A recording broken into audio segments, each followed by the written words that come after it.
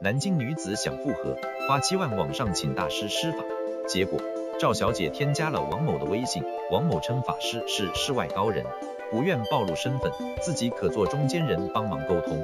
刚开始，王某表示需要些缘分钱，之后说法师做了法事，但效果不好，需要再做一场，找各种理由让赵小姐付钱。期间，赵小姐感觉自己每天到同一时间就想吐。询问王某是否是法师在做法，王某表示是的。